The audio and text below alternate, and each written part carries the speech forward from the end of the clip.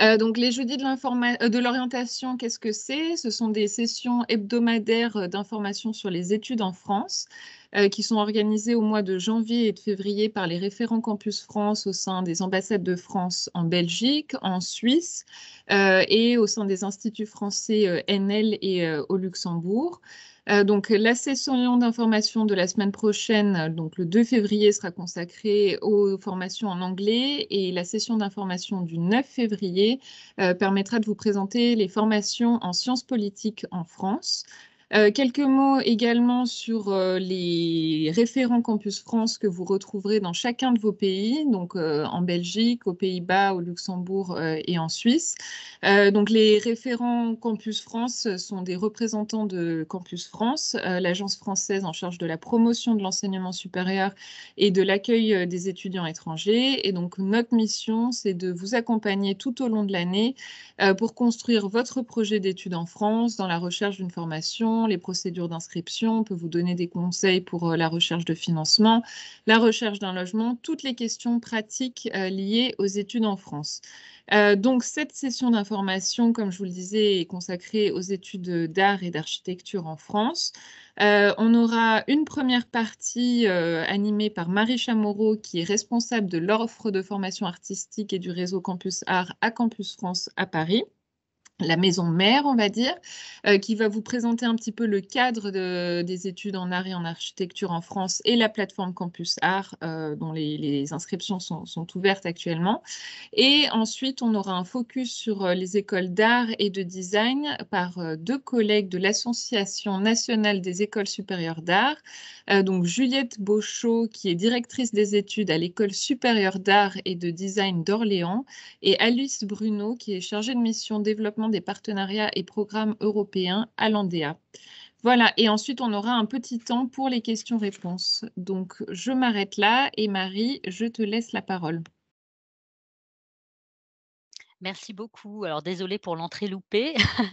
Donc, heu, je suis Marie Chameroux, je travaille, heu, à Campus France, heu, Paris et particulièrement en charge de la promotion des écoles supérieures d'art et d'architecture et d'une plateforme, qui s'appelle, la plateforme Campus Art.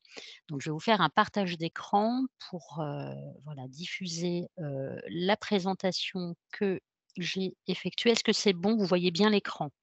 Oui, on voit bien ton écran. On voit par contre, heu, c'est au format, heu, enfin je sais pas comment expliquer, mais, heu, il y a la diapositive suivante qui s'affiche. Ah mince! Alors, je ne suis pas très douée avec cela, donc ça doit être sur un autre écran. Je vais essayer de m'en sortir. Bon, sinon on voit, hein. Bon, Si tu remets au plein plein écran comme c'était, je pense qu'on on voit bien. voilà, désolée, c'est bon? On voit alors j'avouerai que je ne enfin voilà, je je je maîtrise pas du tout cette, je ne sais pas pourquoi ça ça ça s'affiche comme ça. Bon, tant pis, on va essayer de s'en sortir. Alors donc pour le mmh, concernant le le les activités de de de Campus France, hein, on a, un certain nombre de sites internet, qui sont, disponibles soit localement ou soit sur le site de de ce qu'on appelle, la la maison mère, donc campusfrance.org avec, un certain, nombre de documents, notamment des ressources documentaires que vous pouvez trouver en différentes langues et dont certaines sont spécialisées sur l'art et l'architecture, donc avec un code couleur, spécifique et vous pouvez justement avoir une information détaillée et actualisée de l'offre de formation par thématique, donc cinéma, théâtre, arts plastiques, design, architecture également et puis on on on gonfle cette collection de fiches, domaines ou de fiches diplômes, régulièrement donc une, arrivera sous peu sur le luxe, le marché de l'art et puis une autre sur les jeux vidéo et les cinémas d'animation, donc plutôt vers, vers le milieu d'année 2023. Hem, alors pour les établissements dédiés, on a des services dédiés pour les établissements, mais surtout pour les étudiants puisque le le cœur de métier de l'agence Campus France, c'est bien, in fine de, de pouvoir, faire venir des étudiants dans les formations, supérieures en France. Et donc pour ce faire, je vais vous faire un rapide panorama de l'enseignement supérieur artistique, mais évidemment l'Andea, heu heu, présent, sur, sur, ce webinaire sera plus à même de de détailler les spécificités des écoles d'art et de design public. Nous avons sur, le catalogue Campus Art que je vous présenterai tout à l'heure, un certain nombre de formations, notamment des classes préparatoires. Alors j'insiste sur le fait qu'il n'est absolument pas obligatoire d'effectuer une classe préparatoire pour, intégrer une école supérieure d'art, heu, qu'elle soit publique privée ou, heu, également, heu, dans le milieu universitaire, dans la typologie d'établissements, supérieurs universitaires. La classe préparatoire en revanche a, comme son nom l'indique, au moins l'avantage, énorme de préparer, à la fois la constitution de son portfolio, dossier de travaux personnels, mais également de préparer au concours d'entrée en école d'art. En général, le rythme est assez soutenu, hein. On estime, de 30 à 35 heures de cours par semaine et puis, tous les soirs, bah, voilà, des heures de, travail personnel, notamment, de préparation, de présentation du portfolio, voilà, de pratique, hein, également. Et puis certaines classes préparatoires sont couplées à des matières scientifiques, notamment pour entrer dans les écoles d'art appliqué ou à du français langue étrangère. Voilà, certaines, vont beaucoup plus loin que la simple classe, heu, préparatoire, heu et donc heu, vont aussi être, par exemple, sur l'apprentissage de l'anglais, si toutefois la formation, à la suite, sur un cursus initial et diplômant est enseignée en anglais. Concernant les écoles supérieures d'art et de design, hein, je laisserai encore une fois la parole à Landéa qui, qui présentera, heu, l'intégralité des établissements, heu, publics en France. Nous avons donc, sur le catalogue Campus Art, permis d'identifier maintenant avec ce qu'on appelle un système de macarons, donc d'identifier les établissements qui dispensent des formations qui sont reconnues par le gouvernement français ou, qui sont, des titres enregistrés dans un répertoire qui s'appelle le répertoire national des certifications professionnelles. Pour les écoles d'art public, nous sommes bien sur 2 diplômes nationaux, donc un diplôme national d'art, bac+3 qui confère le grade de licence et un diplôme national supérieur d'expression plastique que l'on appelle le DNSEP et qui est un bac+5 conférant le grade de master. Donc vous verrez, vous voyez sous cette, présentation des liens qui vous permettent d'en savoir un peu plus et à tête reposée puisque, ce webinaire sera intense en en présentation. Donc n'hésitez pas à vous renseigner un peu plus longuement, sur les spécificités de ces écoles, mais en tout cas, on est bien sur 2 diplômes. Alors pourquoi ça s'appelle pas licence ou master? Là, on est sur une typologie d'établissements qui dépendent du ministère de la culture.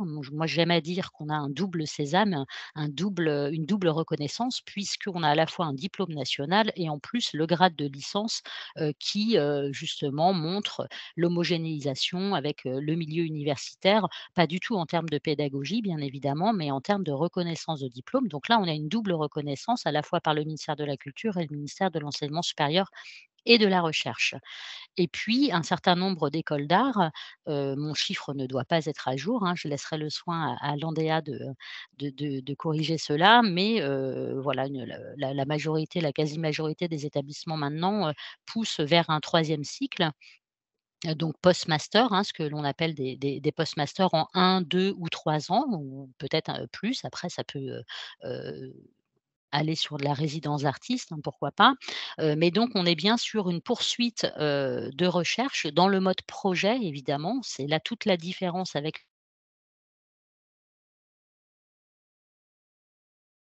exprimer, sa créativité, et son argumentation plastique comme il l'entend.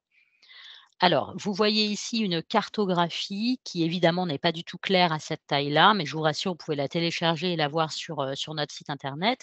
Cette cartographie présente euh, calée sur le milieu universitaire, mais évidemment ce n'est pas euh, du tout la même chose, mais vous présente les diplômes poussés par des mentions ou des spécialités. et donc, vous pouvez constater qu'en France, évidemment, il n'y a pas que Paris dans le domaine artistique. bien évidemment, vous avez 45 écoles qui sont réparties sur le, territoire national et qui ont le même niveau de reconnaissance, mais qui vont délivrer des enseignements spécifiques par exemple, tapissier lissier à Angers, heu, céramique à Limoges, heu design culinaire, design maritime, métier du livre, donc on peut pousser l'option et on peut pousser la spécialité et la spécialisation très, très loin. Et ça, c'est vraiment toute la richesse de l'enseignement supérieur artistique, public, et une répartition sur toute la France, donc évitez de vous concentrer à Paris puisque, évidemment, les écoles parisiennes sont quand même assez difficiles d'accès, pas de par, le comment dire? L'exigence ou la renommée du diplôme, mais parce que naturellement beaucoup d'étudiants vont se, voilà, se hisser vers ces écoles-là. Les places, bah, il y en a pas énormément, alors que finalement, il vaut mieux aller dans une école, dans une autre ville, en France, hein et prendre le train régulièrement pour, faire la tournée des, des expositions parisiennes. Ça sera beaucoup plus simple et beaucoup plus agréable, y compris pour le porte-monnaie puisque le coût de la vie à Paris est quand même, considérable, et vous avez la chance d'avoir un paysage de l'enseignement supérieur artistique public, extrêmement riche et varié dans toute la France. Pour les écoles d'art appliquées, là, nous sommes sous un autre ministère, donc autre nom de, de diplôme, mais encore une fois 2 diplômes qui sont reconnus, heu, grade de licence, heu, grade de master, pas encore pour l'instant, mais ça ne saurait tarder pour le diplôme supérieur d'art appliqué, mais qui et qui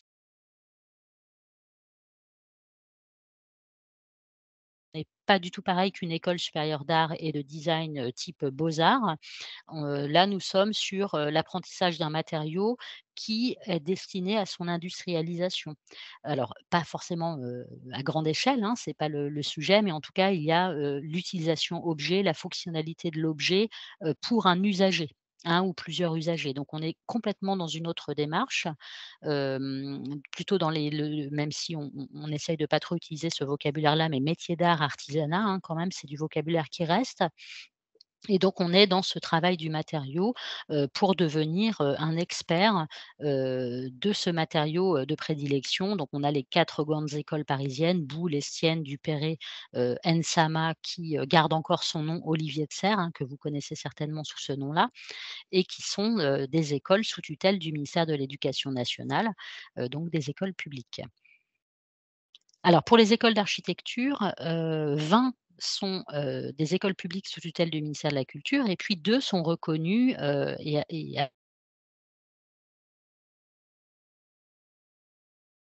architecture grade de licence et puis vous le constatez pour le grade de master, un diplôme d'État. Donc là, on est vraiment dans quelque chose de protégé par le gouvernement français, un peu comme la la médecine en France, hein, un diplôme d'État et donc un titre ensuite, pour, certaines écoles avec un double cursus possible, architecte-ingénieur.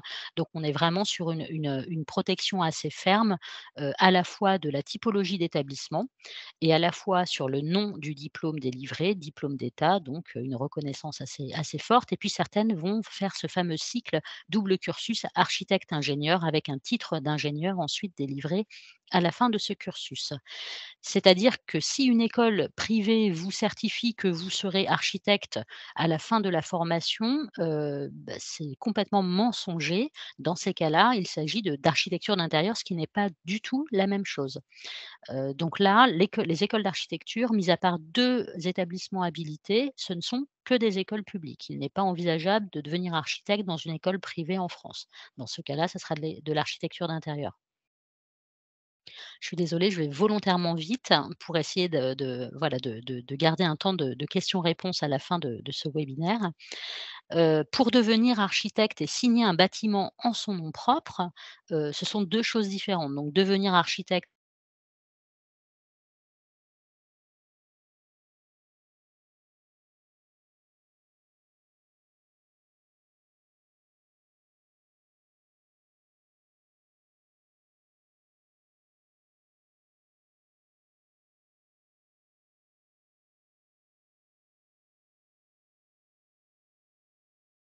il y a pas que chez moi que ça s'est interrompu? Oui, ça s'est interrompu. moi aussi. Non, Oui. c'est oui. OK, je vais, heu, appeler, heu, Marie pour voir ce qui se passe. Ah, Ah! je crois que j'ai été coupée, non? Oui, mais il y avait déjà eu quelques coupures, heu, dans ta présentation. Ah mince! Non, non, mais c'était c'était très rapide et là, ça a été, radical. alors je relance. Je relance et cette fois-ci, je crois qu'on sera sur, là, on est sur une slide, pleine, hein, c'est ça? ouais, c'est ça. Bon, Mmh. alors je suis désolée, je continue comme si de rien n'était? Parfait, merci. Très bien. Donc en dehors de cette habilitation, on peut évidemment, être architecte et exercer, mais ce ne sera qu'au sein d'un cabinet d'architectes et donc sans possibilité de se démarquer en mettant son nom en avant. Donc c'est cette sixième année qui le permettra et puis un certain nombre de post-masters, donc qui s'appellent diplômes nationaux de spécialisation et d'approfondissement, DSA, ou diplômes propres aux écoles d'architecture. Et puis ensuite, un certain nombre de doctorats qui permettent, en étant affilié à une école doctorale, dans une université, de poursuivre, en troisième cycle. Alors voilà. Alors pour ce qui est des universités, c'est quelque chose d'un peu, d'un peu, extrême à dire, mais quand même, même si ça a tendance à évoluer et que ce paysage, bouge, lentement mais mais mais sûrement, on espère. Voilà, l'art dans les universités, ça reste quand même assez théorique. Alors certaines universités ont la chance d'avoir des ateliers, des petits effectifs et donc vont pouvoir pratiquer, l'art ou le design, mais nous, on aime à dire aux étudiants que la pratique de l'art et du design évidemment de l'architecture s'effectue dans une école publique et et non pas dans une université. Heu, cependant, vous trouverez, heu, bien sûr, heu, des licences d'arts plastiques ou de design, à l'université et que ce soit de la licence, au master et puis ensuite, au doctorat. Donc là, je vous ai mis sur cette, cette slide, l'intégralité des, des mentions, des spécialisations que vous vous pourrez trouver, mais on est quand même, heu, faut bien se mettre à la place, vraiment d'un étudiant, en université. Donc on est dans des effectifs qui sont quand même assez conséquents. On n'est pas sur le mode projet forcément, dans des conditions similaires aux écoles, d'art et de design. On est vraiment dans dans un milieu universitaire qui est, dédié ensuite au troisième cycle, à la rédaction, voilà, de mémoire. Donc on est on est dans une autre démarche. Pour ce qui est des écoles privées, donc on en a énormément en France. La seule chose sur laquelle j'insisterai, c'est de regarder la reconnaissance du titre délivré et pour ce faire, vous avez un site internet qui s'appelle France Compétences, qui est gratuit, sur lequel vous pouvez rentrer le nom de l'établissement et là, vous pourrez justement vérifier si l'établissement joue le jeu de la reconnaissance et donc de, comment dire? De la enfin de bah, d'une évaluation, hein, c'est ça, jouer le jeu de la reconnaissance, c'est accepter d'être évalué à la fois dans sa pédagogie et à la fois dans, tout ce qui est, locaux, nombre de de d'étudiants par classe, et de professeurs. Donc si vous souhaitez faire une école privée, vérifiez d'abord si cet établissement a enregistré son titre, donc sa formation sur ce site internet France Compétences. Alors Campus Art, heu, je vais passer rapidement, ce ces slides-là, mais donc c'est un programme qui a été, heu, monté pour aller beaucoup plus loin qu'une simple information, mais permettre le dépôt de dossiers de candidature et l'analyse de ces dossiers par les établissements eux-mêmes. Donc Campus France a mis à disposition une plateforme, qui s'appelle Campus Art et qui permet, de pouvoir déposer, une candidature, donc c'est actuellement possible. La candidature, est ouverte, jusque alors on va étendre la la plateforme, mais pour l'instant, on donne cette date du 28 février. Alors je vous passe cette slide. La couverture, heu, alors désolée pour la carte qui n'est pas du tout, heu, ergonomique et pas du tout graphique pour le coup. Il faudrait que je travaille avec un graphiste pour la rendre un peu plus sympathique. Donc vous ne trouvez pas l'intégralité des formations artistiques sur Campus Art pour la simple et bonne raison, c'est qu'il y a une, règle du jeu sur cette plateforme qui est de ne pas faire passer de concours en France. C'est-à-dire que l'intégralité de l'évaluation, l'intégralité de cette analyse de candidature se fait, heu, de façon totalement dématériali dématérialisée et puis, sur respect des prérequis qui sont indiqués par les établissements. Donc la première phase, que vous, étudiants, vous ne verrez pas, c'est toute cette phase de référencement avec, clarification des prérequis, c'est-à-dire des conditions d'entrée pour, pour, postuler dans cette, formation. Et puis, ensuite analyse bien évidemment du dossier de candidature. Donc vous ne verrez pas un certain nombre de conservatoires, vous ne verrez pas un certain nombre d'écoles, nationales supérieures d'architecture, par exemple. Évidemment, il y en a beaucoup dans la région parisienne. Donc là, je vous montre, sur l'Île-de-France l'intégralité des établissements. Alors quel est l'a l'avantage pour les établissements? C'est qu'ils vont avoir une plateforme avec des dossiers de candidature, heu, totalement dématérialisés, une assistance, en ligne. L'équipe Campus Art fait d'abord une pré-analyse, des dossiers de candidature pour ne laisser, heu, visibles aux établissements que les dossiers de candidature qui, vont les intéresser et leur correspondre. D'accord? Quel est l'intérêt pour l'étudiant? C'est d'avoir une information complète et actualisée, d'avoir alors on n'est plus sur 650 mais un peu plus de 700 formations maintenant qui vont de la classe préparatoire jusqu'au doctorat et une procédure d'admission totalement à distance. La candidature, donc j'insiste, là-dessus, est gratuite jusqu'à un certain moment, ce moment est à la fin. Donc l'avantage, c'est que le dépôt de dossier, que l'analyse, du dossier de candidature par les établissements et que l'éventuelle réception des admissions, des propositions d'admission est totalement gratuite pour l'étudiant. Donc il y a aucun risque à prendre, pour l'étudiant et ça ne peut que déboucher sur des bonnes surprises. Un seul dossier d'inscription qui est visible par tous les établissements du réseau et puis ensuite bah, ce dossier qui est quand même un dossier classique, hein, maintenant, on a l'habitude du dématérialiser, donc avec dépôt de notes, heu, d'éventuels diplômes, du portfolio, de des lettres de motivation, voilà tout ce qui va pouvoir, heu, appuyer le dossier de candidature et l'enrichir.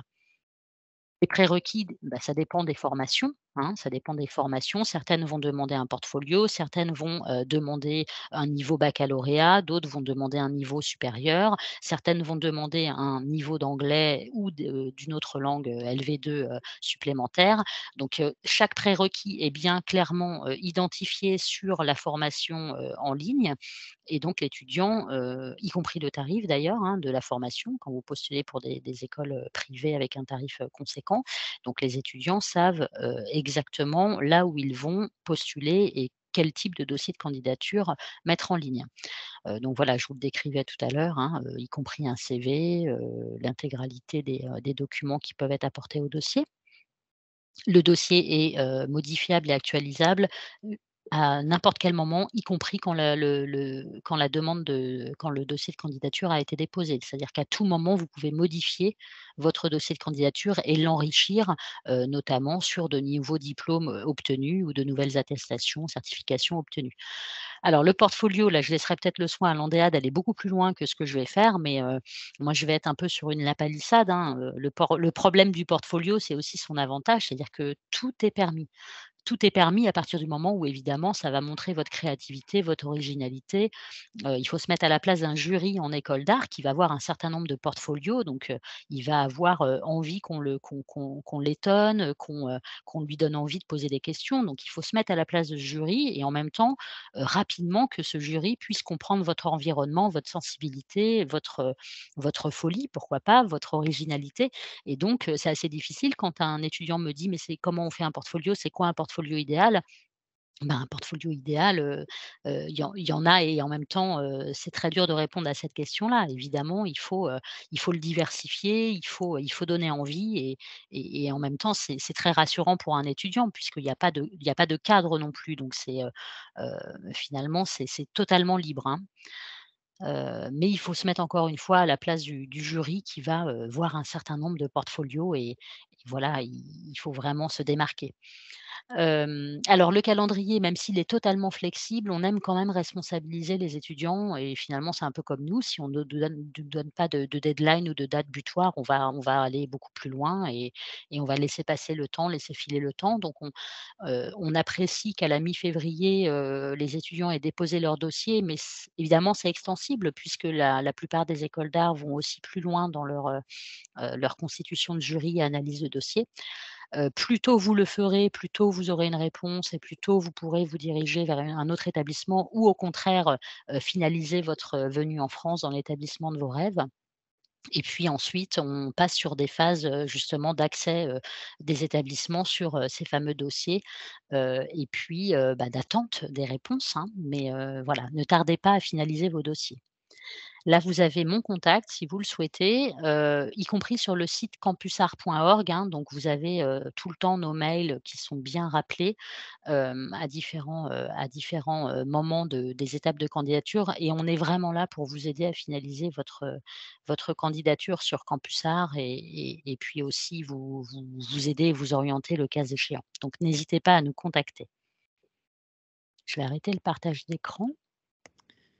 Merci beaucoup Marie. Heu, voilà, j'en ai terminé de mon côté et heu, n'hésitez pas à me contacter pour plus d'informations. Merci beaucoup. Je sais que tu Merci. dois nous quitter. Je remettrai ton adresse mail dans dans le chat tout à l'heure et je Oui. passe tout de suite la parole aux collègues de de Landéa. Merci. Au revoir. Merci. Au revoir.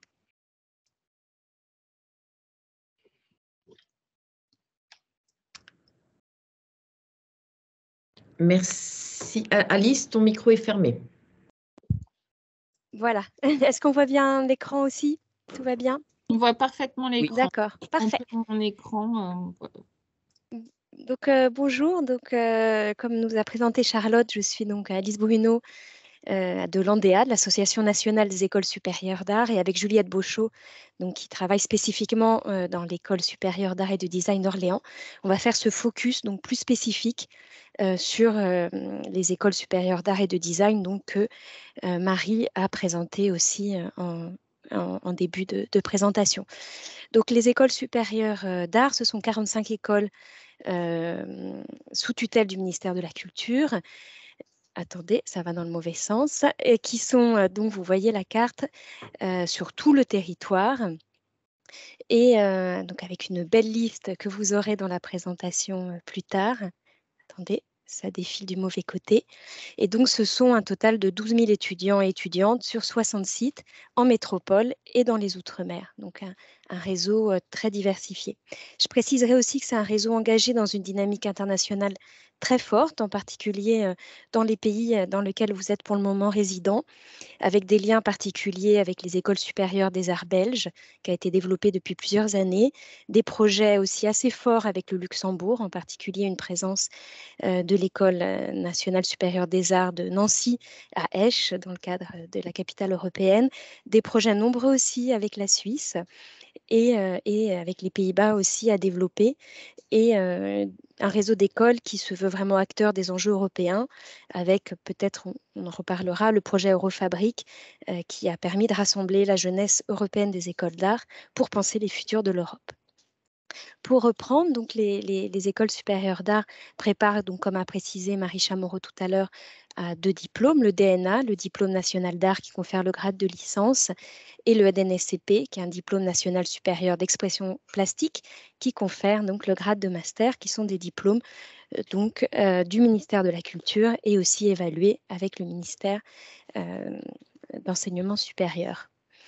Heu, il y a beaucoup d'options, heu, dans les écoles. Il y a 3 diplômes, heu, qui sont préparés en art, en communication et en design et de nombreuses spécialités, je reviens pas dessus, Marie les a aussi évoquées tout à l'heure, mais qui sont, souvent à choisir en L2, heu, la 1re année étant une année, beaucoup plus, générale.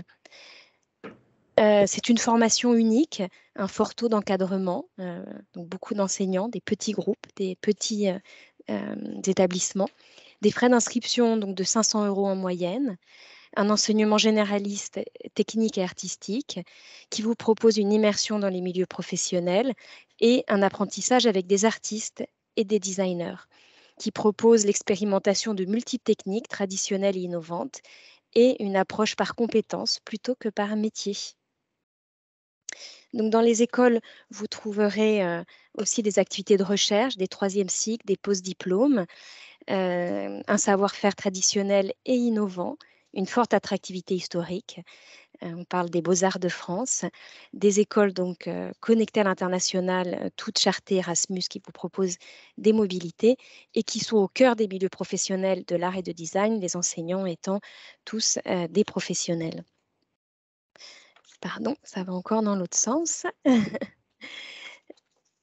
donc, ce sont aussi des écoles euh, euh, qui, ont des, sont aussi qui ont des activités de professionnalisation, donc avec des développements de Fab Lab, d'incubateurs, de pépinières, euh, l'intégration des nouveaux outils numériques et surtout des conduites de projets à l'échelle 1 et des stages. Juliette, je te passe le relais sur la question des débouchés. Oui, oui, oui, je vais reprendre la parole. Euh, enfin, je vais prendre la parole. Bonjour à, toutes et à tous. Donc voilà, dans les débouchés, effectivement, et, comme l'a souligné euh, Alice, on n'est pas sur une formation qui, euh, qui, prépare, enfin voilà, qui, qui, vous forme à un métier spécifique. Hein. On est plutôt sur donc des débouchés plutôt que parler de métiers qui, qui, sont des métiers auxquels nos, étudiants peuvent aspirer. On est plutôt sur des territoires. voilà, savoir que on, a dans notre appellation école d'art et de design ou bien école d'art, euh, les métiers du design, de la communication, les métiers autour de la culture. Euh, ce sont des gens, des jeunes gens, des jeunes filles qui vont venir chez nous parce qu'ils ils ont une aspiration pour travailler dans la scénographie, l'aménagement d'espace, euh, l'exposition, la régie, mais aussi les arts médiatechniques, le multimédia, le graphisme, l'illustration, l'édition. Alors, tu vas un tout petit peu trop vite. en fait, ça va tout seul, là. Ah, il, a, il, a, repris la euh, j'ai repris. Pardon, j'ai repris le. Avec nos machines. Euh, voilà, l'illustration, l'édition, la typographie. Donc, on, est plus sur des territoires que sur des métiers. Alors, effectivement, euh, un, point qu'il est important de souligner, c'est la différence entre nos formations et des écoles plus qualifiante dans un sens euh, euh, art appliqué.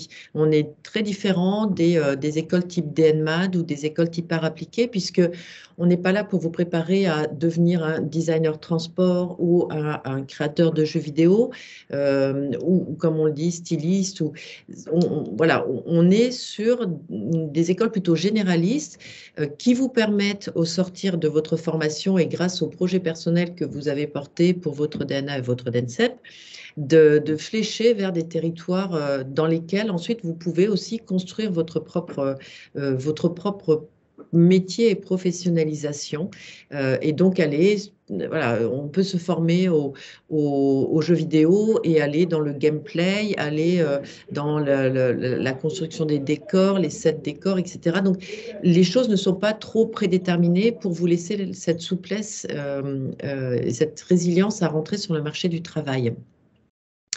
Donc, comme on, disait, hein, pas, généraliste, mais euh, plutôt se préparer à un rôle qui vous permet de collaborer et de discuter, que ce soit avec des gens du marketing, avec des ingénieurs, avec des décideurs, avec des institutions, hein, euh, puisqu'on on a pas mal de nos étudiants aussi qui, vont ensuite travailler dans des institutions comme la direction régionale des affaires euh, de, pardon, la DRAC ou la FRAC. Voilà, donc euh, cette nuance-là, elle est très importante à comprendre parce que euh, le choix de l'école se fait chez des étudiants qui ont quand même une convergence d'intérêts intellectuels, artistiques, créatifs, culturels et pas spécifiquement je veux juste dessiner de la voiture ou je veux juste faire du caractère design.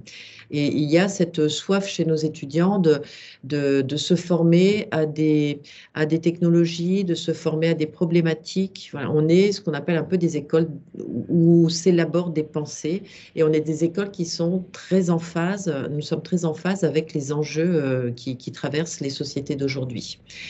Donc, ces horizons professionnels, nous vous y préparons, mais en même temps, vous vous préparez vous aussi à travers cette démarche à être polymorphe dans votre pratique euh, lorsque vous quittez l'école.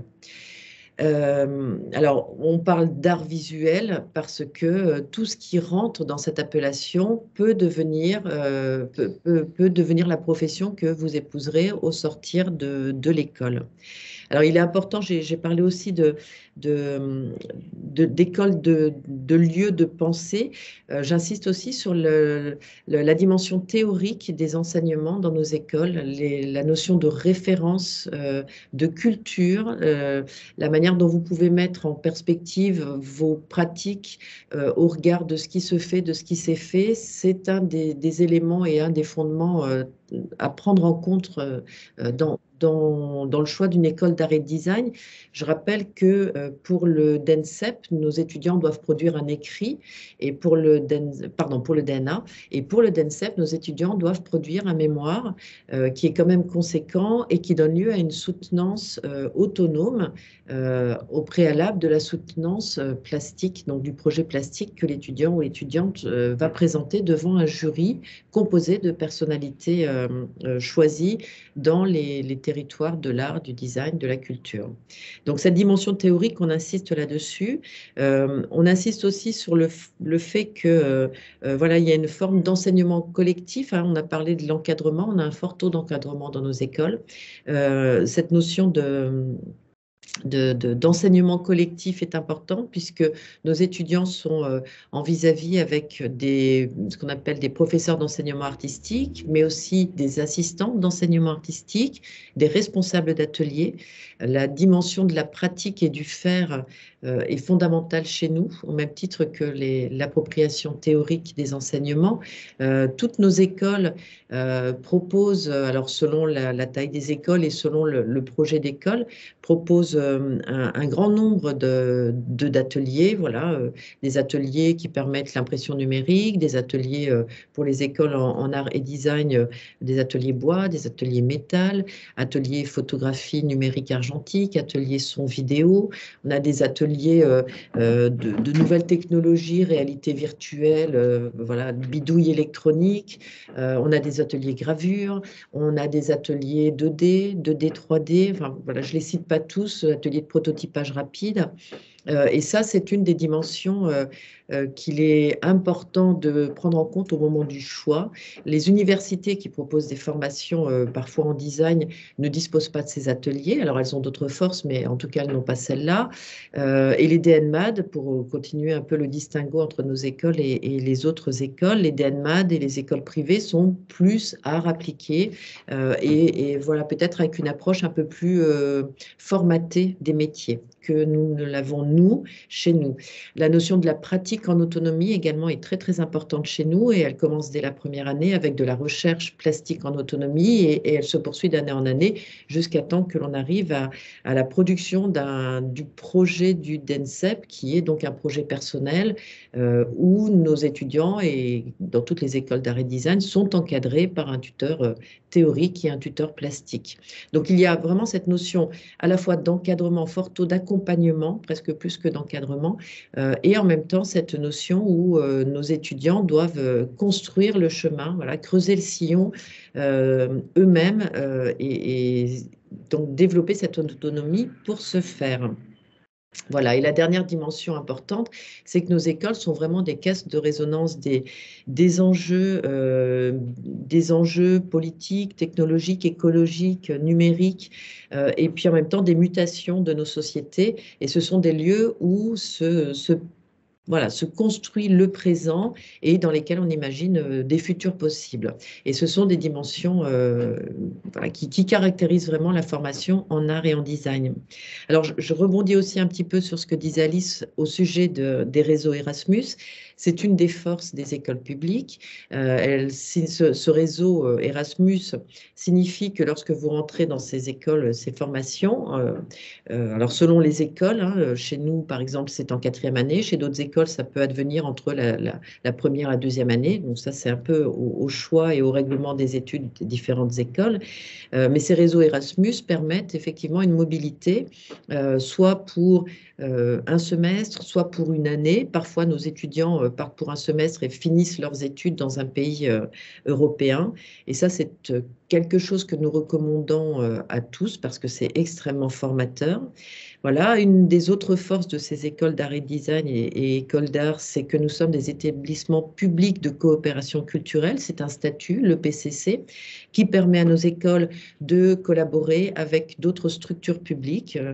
Ça peut être un centre dramatique euh, national, ça peut être un centre chorégraphique. Euh, euh, personnellement, nous coopérons aussi avec l'université. Euh, là, j'en arrive euh, rapidement sur les, on va dire le troisième cycle. Hein. On, a, parlé rapidement des troisième cycles des postmasters, donc qui sont euh, une demande du ministère de l'enseignement supérieur de pouvoir poursuivre au-delà de, de, la licence master, pardon, de la, du grade master, pouvoir poursuivre encore trois ans pour avoir des diplômes qui sont des diplômes, diplômes reconnus par le ministère de la Culture, mais néanmoins des, des diplômes d'école. Euh, mais la plupart des écoles proposent également aussi des, des post-diplômes d'un an professionnalisants qui permettent à nos étudiants soit de, prolonger le travail sur leur master, de le, professionnaliser ou bien de trouver des stages pendant un an. Nous avons également, nous proposons également dans de nombreuses écoles des, des post-masters qui sont en lien avec des formations universitaires, euh, ingénieurs euh, ou autres. Voilà. Et puis, euh, une des autres forces, c'est que nous, notons nos étudiants, euh, nous sommes dans le, le, système des crédits, euh, enfin de transfert de crédits européens, les ECTS, qui permettent donc également une mobilité en France entre écoles d'art et de design, parce que toutes les écoles d'art et de design sont orientées sur un, ont un projet artistique qui est porté par le directeur ou la directrice de l'école. Et donc, on peut très bien commencer sa première année dans une école et puis choisir d'aller dans une autre école pour passer son DNA parce que cette école a un, projet artistique plus en rapport avec ce qu'on souhaite faire. Et on peut également, à la fin de la troisième année, après le DNA, choisir d'intégrer encore une autre école pour, euh, pour son master, euh, donc la quatrième et la cinquième année. Donc on voit que ça crée un, maillage en France et hors France en Europe qui est euh, fécond, qui est riche et que nous encourageons évidemment, puisque les mobilités sont, comme on le dit, les voyages forment la jeunesse. Voilà, je crois que j'ai fait euh, le tour de notre, de, notre présentation des écoles. Maintenant, je vais vous parler un petit peu des, ben donc de l'examen d'entrée. Alors, à l'heure actuelle, euh, toutes les écoles euh, d'art et d'art et de design en France sont maintenant, cette année, sur la plateforme Parcoursup.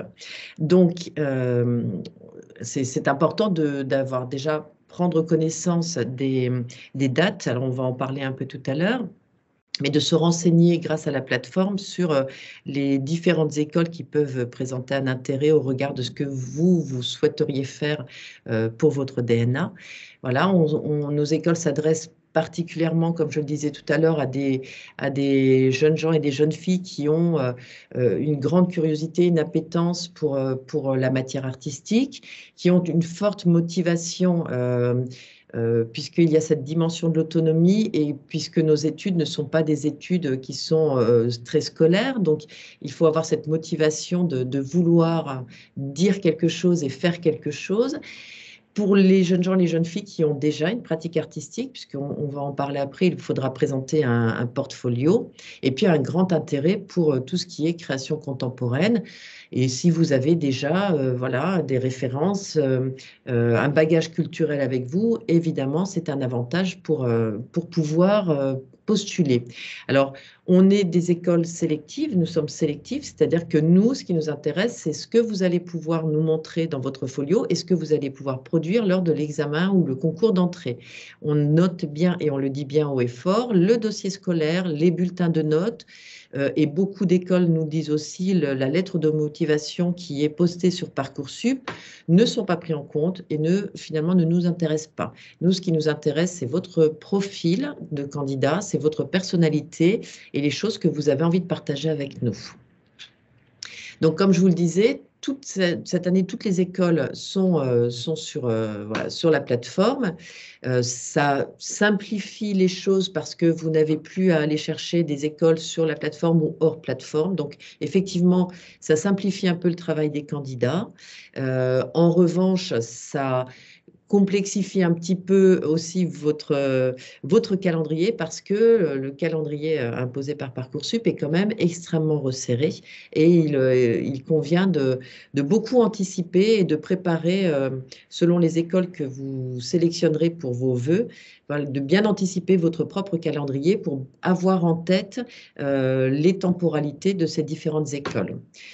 Alors, j'ai oublié de mentionner, effectivement, l'école de Monaco euh, n'est pas encore sur Parcoursup, mais sinon, voilà, toutes les autres y sont cette année.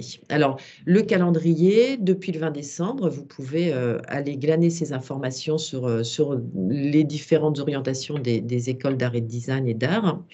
Le 8 mars, c'est une date limite pour formuler vos vœux dans l'enseignement supérieur français, voilà, donc euh, que ce soit en art design ou euh, sur euh, des DNMAD ou, des, formations universitaires. Le 6 avril, vous devez avoir confirmé vos vœux et vous devez, voilà, vraiment, c'est une date fondamentale. Il est toujours possible d'avoir un recours administratif, mais c'est quand même euh, une démarche un peu plus longue, compliquée, et c'est surtout à un moment où les concours commencent dans, la plupart des écoles, puisque en général, ça se passe au moment des, les concours sont organisés dans les écoles au moment des vacances, parce que c'est le moment où nos enseignants sont disponibles. Donc, euh, il faut être très vigilant parce que de, de, louper cette date pourrait vous faire perdre l'occasion de participer à certains concours qui peuvent débuter euh, euh, dès le tout début du mois d'avril. Voilà, donc vous voyez le calendrier du 7 avril au 22 mai. On organise tous nos examens d'entrée. Alors, Là, il faut, euh, il faut être fin dans, sa préparation et dans son calendrier. Certaines écoles vont vous demander une phase d'admissibilité pour trier déjà, faire un premier tri. Alors notamment dans les grandes, grandes écoles qui ont un très, très grand nombre, c'est souvent les écoles nationales hein, qui, euh, qui ont parfois plus de 3000 candidatures, ils sont obligés d'organiser une, une, épreuve d'admissibilité qui leur permette de, de, diminuer le nombre des, des candidats sélectionnés au concours. Euh, d'autres écoles n'ont pas d'épreuve d'admissibilité et euh, gèrent l'entièreté des demandes. Voilà, donc c'est un des premiers critères à retenir lorsque vous allez organiser votre calendrier. Alors, en revanche, toutes les écoles vous demanderont euh, ce qu'on appelle, nous, un portfolio, un dossier de travaux artistiques. Euh, par exemple, à Orléans, euh, ce portfolio fait partie du concours d'entrée. Pour d'autres écoles, peut-être à mon avis, comme les Arts Déco, par exemple, euh, le dossier euh, de travaux artistiques est peut-être un élément demandé au préalable du concours. Donc, soyez vraiment attentifs à l'organisation des, concours chez les uns et les autres. Toutes les, écoles, en revanche, vous présenteront un sujet pour des épreuves plastiques euh, certaines, parce que ça c'est euh, contractuel, réglementaire, nous sommes euh, obligés de, vous faire rentrer par, par concours. Certaines écoles décident de fusionner l'épreuve écrite au sein de l'épreuve plastique à travers des questions ou bien à travers l'entretien, l'oral, qui fera partie des épreuves réglementaires que nous sommes obligés d'organiser. Donc, L'épreuve écrite peut être soit sous forme réellement d'un texte, euh, suite à un sujet que l'on vous donne, ou bien elles peuvent s'articuler avec l'épreuve plastique en vous demandant euh, voilà, une forme de réflexion autour du sujet, ou bien elles peuvent avoir lieu euh, dans l'oral d'entretien à travers des questions spécifiques qui, qui vous seront posées. Alors en général, tout ça est très bien explicité sur les sites des écoles et sur la plateforme Parcoursup, donc il faut prendre un peu de temps pour, euh, pour s'y intéresser. Les réussites alors sont indiquées sur les plateformes. La plateforme Parcoursup, euh, je trouve, voilà, évolue d'année en année. Elle est toujours plus efficace. Euh, voilà, les réussites, c'est en moyenne 30%. Certaines écoles ont des taux de réussite beaucoup plus importants, entre 50 et 60%. D'autres avec des taux de réussite beaucoup, beaucoup plus euh, petits, je dirais, beaucoup plus inférieurs, euh, ce qui est le cas des très grandes écoles nationales qui, qui ont un grand, grand taux de, de candidature. Alors, euh, ces formations, elles s'adressent à toutes et à tous. Il n'est pas nécessaire d'avoir euh, passé par une classe préparatoire. Il n'est pas nécessaire non plus d'avoir eu une option art plastique ou d'être passé par euh, une formation STI 2A pour rentrer chez nous. On a encore et toujours, et tant mieux, parce que ça, permet aussi de sélectionner une variété de candidats qui viennent d'horizons différents. Nous avons encore un grand nombre d'étudiants bacheliers qui ont simplement eu une pratique artistique dans un atelier en cours du soir en pratique amateur ou qui parfois ont une pratique artistique autonome qu'ils qu'ils approfondissent depuis euh, quelques années. Donc voilà, vous voyez, les cas de figure sont très différents. Euh, certains d'entre vous, certaines d'entre vous ont peut-être des parents qui les ont accompagnés dessus, d'autres non. Euh, on n'a pas d'a priori, on ne recherche pas un profil particulier, et j'insiste vraiment beaucoup là-dessus.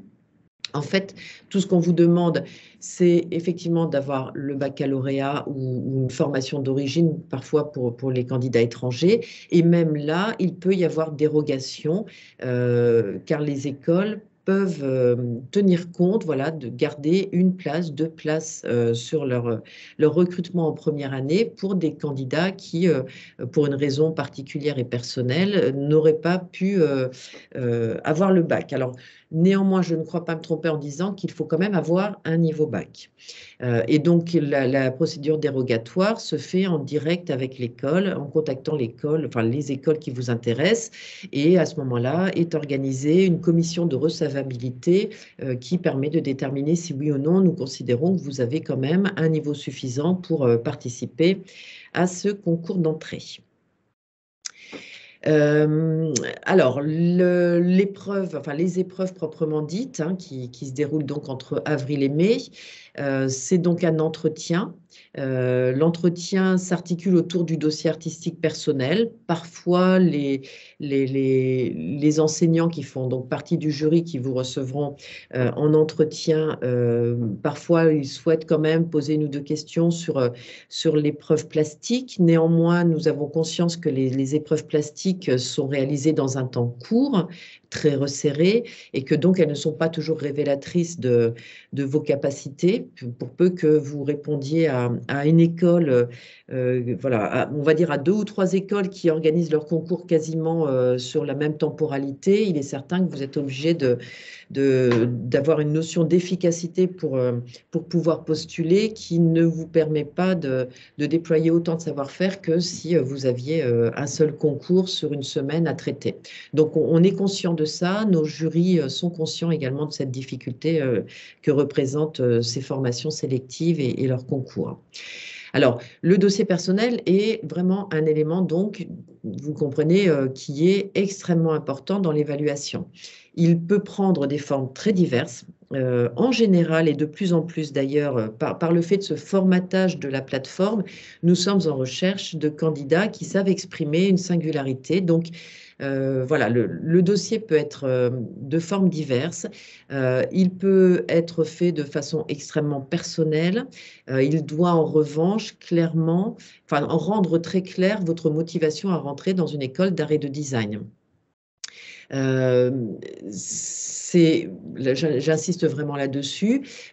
On a essayé quand même d'harmoniser un peu nos demandes entre écoles pour que ce soit moins compliqué pour les candidats. Euh, voilà, la mise en page peut être libre. Le nombre de travaux, de plus en plus, vous verrez que on est entre euh, soit 10, 12 planches, soit euh, une vingtaine de projets. les planches peuvent combiner plusieurs projets si c'est pertinent.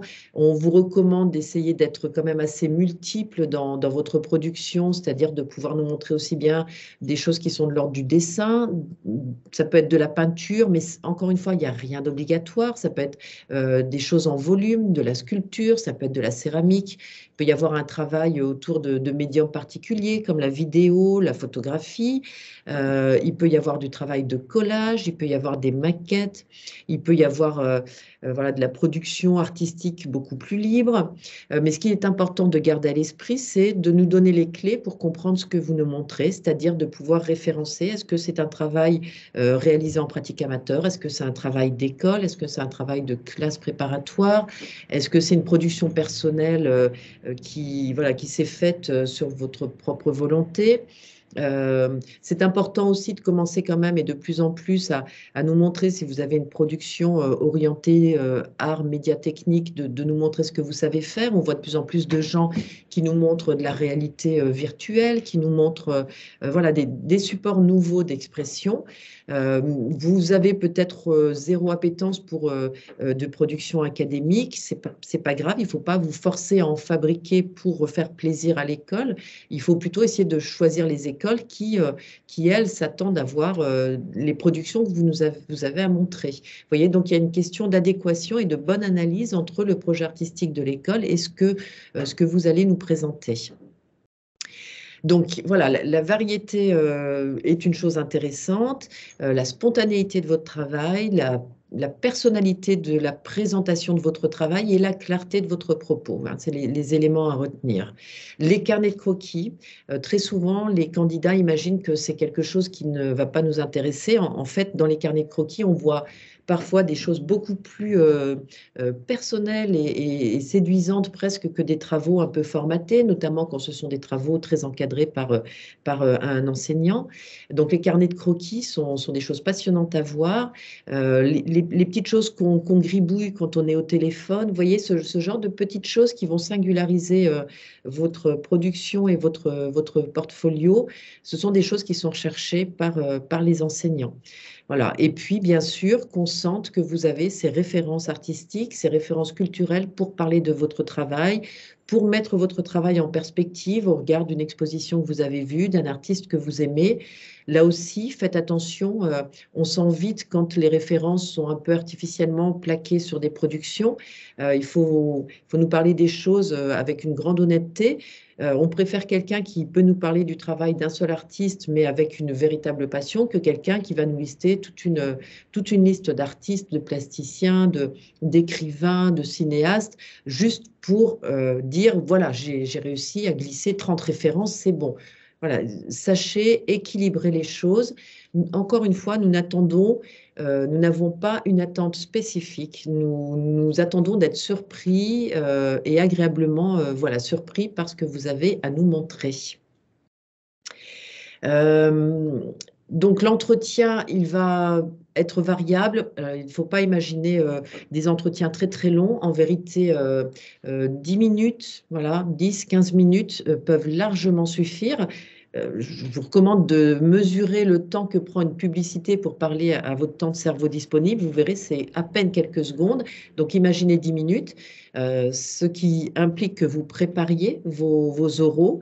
Euh, n'oubliez pas de les préparer au regard de l'école pour laquelle vous candidatez, parce que euh, une école qui, traite du design culinaire ne va pas attendre la même chose qu'une école qui traite voilà, des, des nouveaux supports médiatechniques, hein, de la réalité virtuelle, etc. Donc, Soyez vigilants à être précis dans vos propos, préparez-vous bien, euh, sachez avoir euh, peut-être une petite feuille avec des mots-clés qui vous permettent de, bien argumenter, de bien rebondir sur votre, sur votre euh, dossier artistique personnel. Donc, comme on disait, hein, c'est le potentiel qui nous intéresse et pas une personnalité déjà complète. Euh, nous avons déjà recruté des gens qui avaient quasiment aucun niveau de dessin, mais qui avaient un véritable propos dans un travail photographique ou en volume ou en céramique ou euh, dans une production de gravure, euh, parce que nous savons que là, nous avons une matière première qui va pouvoir être travaillée, se développer et grandir par le biais des enseignements qu'il recevra. Pensez d'ici les entretiens à vous renseigner sur l'actualité. Ça fait partie des questions un peu récurrentes. Qu'est-ce que vous avez vu récemment? Qu'est-ce que vous avez lu? Euh, Parfois, euh, c'est des questions sur la pop culture. Parfois, c'est des questions sur une culture un peu plus euh, muséale. Donc voilà, soyez assez large dans, dans, votre regard sur la création qui, qui va intervenir dans les mois qui viennent pour pouvoir poser un regard et avoir une opinion critique, voilà, développer un sens critique vis-à-vis de, ce qui est proposé. C'est encore une fois, ça fait partie des questions un peu récurrentes. Euh, et puis, moi, mon conseil, c'est ne candidatez pas que sur des écoles euh, très prestigieuses. Euh, essayez de varier vos candidatures. Si vous vouliez vraiment aller aux arts déco, ben, pensez quand même à candidater sur des écoles voilà, à, une échelle moins importante, je dirais, comme des territoriales. on a souligné notamment le prix hein, des études à Paris du fait du foncier qui est extrêmement cher. Pensez également à varier les formations. Nous, nous recommandons toujours aux candidats qui nous visitent lors des journées portes ouvertes de penser à à la fois euh, candidater sur des classes prépa si vous, sortez du bac, euh, comme sur des, entrées en première année. Voilà, essayez de ne pas mettre tous vos œufs dans le même panier euh, et prenez le temps, encore une fois, de, bien faire le tour des écoles, de leur site internet. prenez le temps d'aller sur le site de la PPEA, qui est donc l'association des classes préparatoires de l'ANDEA, bien sûr, et des CPES CAP, qui sont les classes prépa de l'éducation nationale. Voilà, j'en ai fini pour la présentation donc, euh, de, nos écoles et de cet examen au concours d'entrée. Et puis, euh, ben, nous avons un peu de temps pour répondre à vos questions si vous en avez.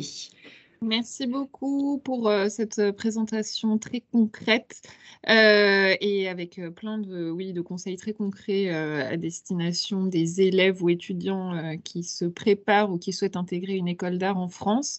on arrive à, la fin du temps prévu pour ce webinaire. Il y a quelques questions dans, dans le chat.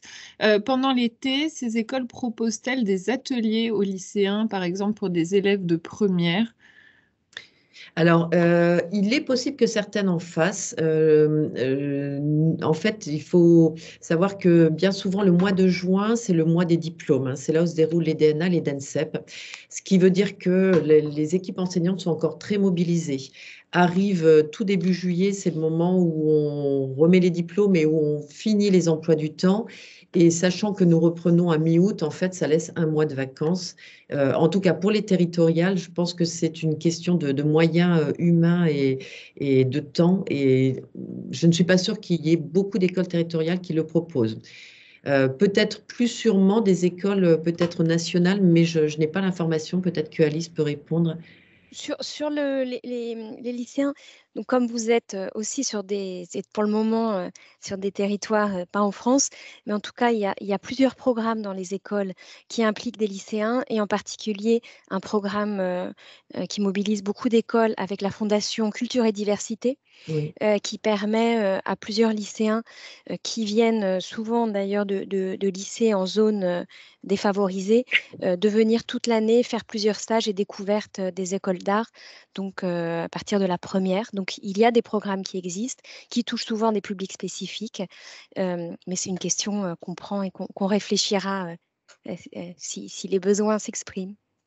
Oui, super. Bah, si vous avez et aussi préciser, pardon, on ne l'a pas précisé, en complément, c'est que la majorité des écoles supérieures d'art et de design proposent en complément et en plus de leur activité des cours grand public et donc sont aussi des lieux qui accueillent des enfants, euh, des personnes adultes, euh, des adolescents, et donc qui permettent aussi d'être dans l'école et de croiser aussi les publics étudiants. Et donc c'est aussi euh, tout au long de l'année, certaines organisent des stages pendant les vacances scolaires, et donc c'est aussi une autre manière de, de, venir dans les écoles par les, les cours grand public. Merci. Euh, il y a encore deux autres questions. Euh, donc, une qui a déjà été répondue euh, pendant la, présentation. donc, ces écoles sont-elles accessibles directement après le bac une autre question à ce sujet. Le bac est-il obligatoire pour intégrer vos écoles? Et peut-être, comme euh, on est euh, face à des, donc il y, a, certainement parmi nous euh, des, élèves du lycée français aux Pays-Bas, au Luxembourg ou en Belgique, mais aussi des, élèves qui préparent le diplôme d'enseignement secondaire dans chacun de ces pays. Qu'en est-il de la prise en compte de, ces diplômes d'enseignement secondaire étrangers au moment de la candidature? Alors, euh, nous avons des candidats étrangers qui postulent via la plateforme euh, tous les ans sur le, concours d'entrée. Donc ça, c'est évidemment déjà une, porte d'entrée. Après, euh, nous avons aussi des candidats étrangers qui postulent tous les ans lors des commissions d'entrée en deuxième, troisième année, voire d'entrée en deuxième cycle pour une quatrième année. Via les commissions d'équivalence, puisque c'est un, système de crédit européen. Du moment que vous avez les crédits, alors 60 crédits donnent la possibilité d'entrer en deuxième année, 120 euh, crédits d'entrer en troisième année, etc. etc. Donc c'est tout à fait euh, envisageable à tous les niveaux de la formation euh, de venir de l'étranger pour étudier en France. Super, merci beaucoup. Et peut-être, il y a une question sur les slides. Euh, il y a eu plusieurs questions sur les slides, donc on peut volontiers, si euh, Alice et Juliette sont d'accord, euh, vous les envoyer. je vous ai mis dans le chat les adresses e-mail des espaces Campus France de référence dans chacun de vos pays. Donc vous pouvez nous envoyer un mail et à l'issue du webinaire demain ou début de semaine prochaine, on peut vous envoyer toutes les slides. Une dernière question, avec quel logiciel peut-on concevoir un portfolio? Alors, ça, c'est une très bonne question et c'est vrai que j'aurais pu en parler. Alors, je vais, euh, bien souvent, on imagine qu'il faut être sur des logiciels professionnels, que ce soit très pointu. Moi, je vais vous dire ce que j'entends de plus en plus euh, dans, nos réseaux. C'est en fait, euh, beaucoup de nos écoles travaillent avec la, suite. Google for Education. Et en fait, euh, bah, tout simplement, euh, Slides de Google, il suffit d'ouvrir son compte Gmail. il est très simple d'emploi. Il est complètement universel parce qu'on a voilà, toutes les écoles pourront l'ouvrir. Et nous, en tout cas, c'est ce qu'on prône et ce qu'on recommande de plus en plus. Simplement, euh, l'outil, enfin le logiciel Slide de, de, Google. Je trouve ça très bien. Je sais que notre classe prépa euh, fait travailler les étudiants de prépa euh, de la classe prépa sur cet outil-là. Et voilà, ça marche impec. Super. Eh bien, il n'y a pas d'autres questions dans le chat, donc euh, je vous propose qu'on s'arrête là. Peut-être finir juste pour dire qu'on ne l'a pas euh, dit, mais qu'à euh, partir de maintenant et février-mars, il y a les portes ouvertes des écoles et c'est extrêmement important euh, aussi d'aller découvrir les écoles et de, voilà, avant de postuler pour comprendre aussi leurs essences. Et donc, sur la page de l'ANDEA, vous trouverez la liste complète de toutes les portes ouvertes et vous trouverez aussi, euh, choses qui ont été beaucoup développées dans les années de confinement, des visites virtuelles de certaines écoles qui vous permettront aussi de mieux appréhender ce qu'elles sont et ce qu'elles proposent. Oui, des, visites virtuelles et je pense que nous, en tout cas, on le fait. Je pense que d'autres écoles le font. Des temps de rendez-vous euh, qui permettent de, voilà, de, de, représenter un peu mieux. Euh, nous, par exemple, on présentera davantage les A d'Orléans, on parlera davantage des cours. Là, on était sur quelque chose qui s'adresse, euh, voilà, on parle depuis l'Andéa, mais les écoles font aussi des, des meetings en visio et n'hésitez pas à regarder sur les sites et ça vous permettra de discuter peut-être de façon un peu plus concrète encore sur les questions de l'examen d'entrée et, sur la question des programmes d'établissement. Donc, plusieurs conseils. Euh, le site euh, de l'ANDEA pour euh, découvrir toutes les écoles. La plateforme Parcoursup aussi qui peut être un, bon outil de, de recherche. La plateforme Campus Art si vous voulez un, accompagnement de Campus France pour monter vos, dossiers de candidature. Euh, nous, au niveau des Pays-Bas, du Luxembourg, de la Suisse et de la Belgique, on se tient à votre disposition tout au long de l'année pour vous donner des renseignements. Merci beaucoup Alice, Juliette, pour euh, cette présentation très riche euh, en informations. Marie est partie, mais merci à elle aussi. Et nous, on vous donne rendez-vous pour la suite des jeudis de l'orientation la semaine prochaine pour une session d'information sur les programmes en anglais. Euh, au sein des établissements d'enseignement supérieur français et euh, la semaine suivante, donc le 9 février, pour euh, une session d'information sur les formations en sciences politiques. Merci à tous. et à tous. très, Merci. et bon courage à tous.